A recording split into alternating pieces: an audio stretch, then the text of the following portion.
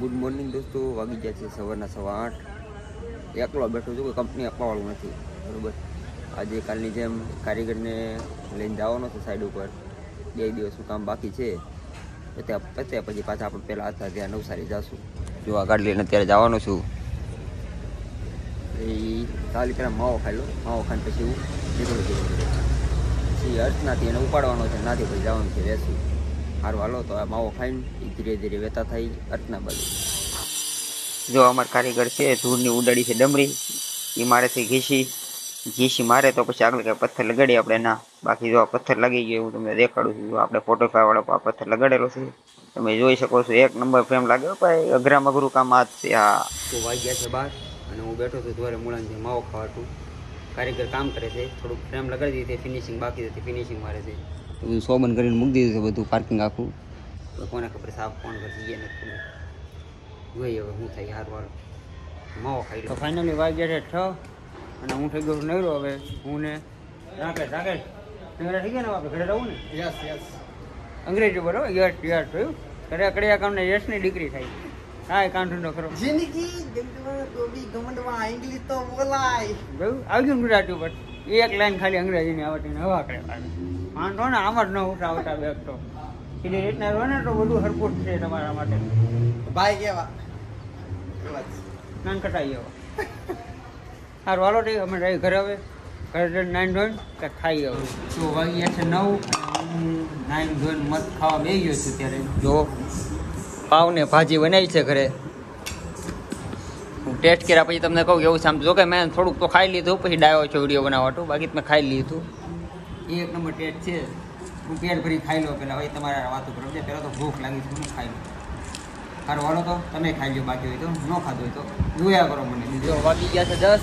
અને હું કેવો ધોરા મળે છે બેટા તમે જોઈ શકો છો. ગલ્લે આવ્યો છું કૃષ્ણા ગલ્લે. માવો ખાવા હાટું. એમાં તો આ બુટીઓ ડાભી બળા ઘણા દિવસ પછી મળ્યો છે અને રોયેલા મોઢા જેવો મળશે એમ કે હું એને યાર નથી જતો કામે. અને ખાસ તો મારા ભગત.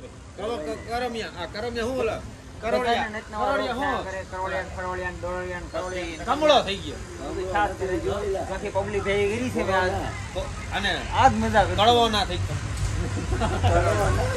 ઈ ભૂલી જવાનું કોરોના. કોરોના છોતે મોટી બાબી ભગતની તાત્કાલિક ફાટી રહે. અને આ ભાઈને કાંઈ છે નહીં. ભગત પાછળ છે. એને જોવાની મજા આવશે. ભાગે ત્યારે બતાવે? એ ભાગ્યા નથી. ભાગે ને બતાવે વાર વાર હારું હતું માવો વાગ્યા છે અગિયાર અને આવ્યા છીએ Ram Lakhan. Ramlakhan crystal plaza. આ એક નવી વાત જાણવા મળી. અરે હું. આને નાના છોકરાનું ચપ્પલ કહેવાય. બીજી કઈ વાત મળી? બીજી વાત કાલ તો આપણે વાત તો આલી હતી. એ અડધી રહી ગઈ. હતી આજ પૂરી કરતે પૂરી ના કરે. મારી વાત થઈ ગયો તો કઈ.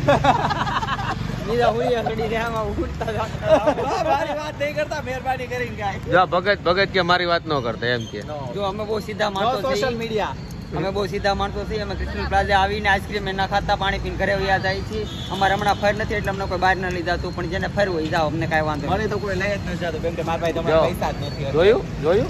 એટલે જે પૈસા માલ લેતો મોહબ્બત એ આપણા ઠેકાણા ન હોય. મને તો કોઈ લઈ જ ન જતું કેમ કે મારા પાસે હમણાં કઈ પૈસા જ નથી. અને આપણા ઠેકાણા ખાવડના ઠેકાણા ન હોય. ભાઈ માવો ખાઈને સુઈ જાવ એને. હાલો પછી મળીએ એન્ડમાં. ફીર મિલાઈ ગયા ચપ્પલ કે સાથ? જો વાગી ગયા છે સાડા દસ. અગિયાર વાગી હા તો વાગી ગયા છે અગિયાર. હું ને બુટિયો માવો બનાવે છે બુટિયો અમે બે હમણાં ખાવું આ ધોયેલા મુલાન જે મોઢું હળકાઈ બેઠી છે અને આઈસ્ક્રીમ ખાવું છે. એને જો ભગત ખવડાવવાનો ભાઈ. તો ખાય બધા ખાય ને તો વાર ખાયા ખા વાહર ભગત તો માવો ખવડાવશો ને? નહીં. તો? Ice cream I don't have a money I don't have a money you you are ભાઈ ભિખારી મારા ભાઈ એન માવા વાળા એન માવા ખાઈ.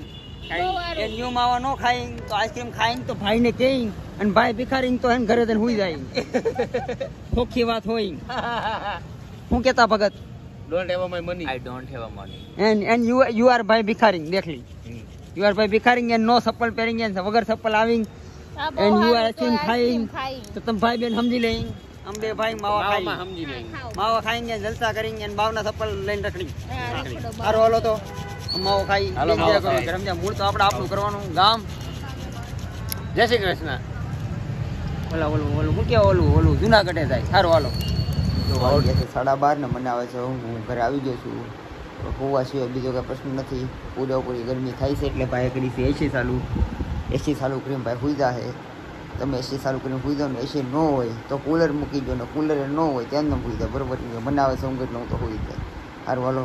Good night student take care and તો મારો વીડિયો કે હું ગમતો હોઉં ને તમને તમને ખબર છે, તમારે શું કરવાનું છે બહુ વધારે નહીં કહું. ગુડ નાઇટ અત્યારે